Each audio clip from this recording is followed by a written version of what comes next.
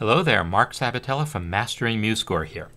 In this tip, I want to show you how we can create a cleaner view of our score, uh, not so much for use while editing the score, but for use maybe proofreading it, reading from it, presenting it to others like I often do in my music demonstrations. So I want to show you how we can do that. I'm going to show you a couple different ways. The simple way and then the way that's actually probably more effective. So the simple way to get a cleaner view is just to switch from the Score tab here on the main toolbar to the Publish tab. When I do that, instantly it's somewhat cleaner, right? The left sidebars have disappeared and the Note Input toolbar has disappeared. So it is somewhat less cluttered. But I think we can do better. There's a few things still going on. We still have this uh, row of uh, buttons here that I don't actually need for this purpose. And we have the status bar here that I don't really need.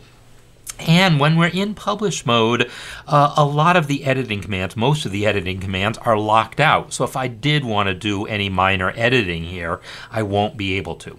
So I'm not going to do this. What I want to do instead is uh, I'm going to create my own special uh, presentation mode. So I'm going to go back to the Score tab here, and now let me show you how we're going to create this mode. We're going to use the workspace controls in MuseScore. So down here on the status bar, you'll see the workspace currently is default, and when I click this, I've already created a couple other workspaces. I'm going to create a new one now by clicking Create New Workspace. And now I'm going to give it a name. I'm going to call it presentation because that's what I normally use this for. You might want to call it proofread mode. You might want to call it clean mode, whatever you want. And you can just leave all of these checkboxes checked. Uh, in my course, we'll talk about other things that they might do, but um, we can just leave those alone. And then I want to make sure I am switching into this new presentation workspace that I've created. Now, I've created this workspace, but it's not really any different than the default workspace right now. It just has all the default elements. But now I can start removing them one by one. So you can get rid of the sidebar panels using their dot dot dot menus here. If I click the dot dot dot next to palettes, I can click close to close it. There's also the keyboard shortcut F9 that opens and closes palettes. I can now also use F7 to close the Instruments panel and F8 to close the Properties panel. So already a lot better, right? There's a few other things I want to do. Um, one thing that I want to do next is get rid of that Note Input toolbar. So I'm going to come to the View menu, and then under Toolbars, I'm going to uncheck Note Input. And now the Note Input toolbar has disappeared. Great.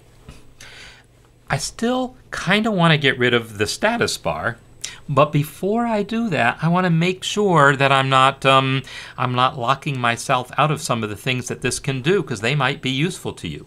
Like for instance, I might want to actually get back to my workspace controls. I might want to toggle concert pitch, might want to change between page and continuous view, might want to have access to some of these zoom commands.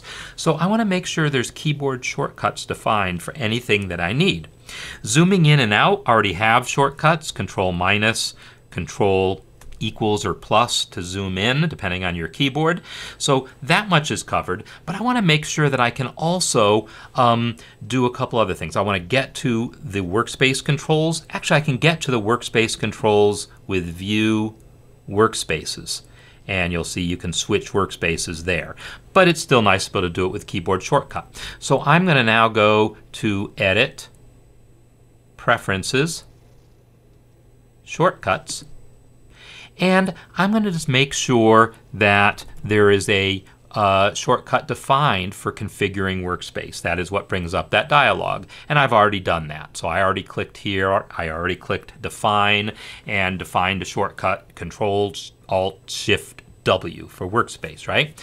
Um, I might want to do the same for concert pitch. So I can type concert pitch into here, select it, and define a shortcut. And I've done that already, Control Alt Shift C. There's another useful control here. Well, the controls to switch into uh, continuous and page view.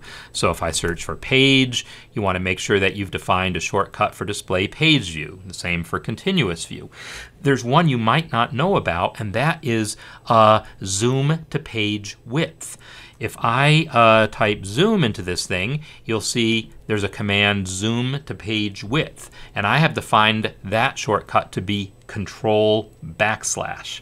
I love this command uh, when I'm in the uh, presentation mode here because if I press that right now, control backslash, it expands the score to fill up all the available space, which is great. And then also if I make the window smaller, it'll automatically shrink the score to fit the window. It's a really cool sizing thing where it just sort of automatically sizes to the window. So now that I've made sure that I can get at all the commands that I actually need to get at, I can finally get rid of this status bar by going to View, Toolbars, and turn off Status Bar. So this is my presentation workspace. It's not ideal. I, I, really wish I could get rid of the main toolbar as well. That's just not currently possible. Uh, you may have noticed in the view menu it is possible to get rid of the playback controls, but that's not going to save you any space. And these might be things you want while you're in this mode, so I just decided to leave them in there. But anyhow, this is how you can go about creating a nice cleaner looking interface. You don't want to do any heavy editing in here because you've now closed all the panels that you might need for it.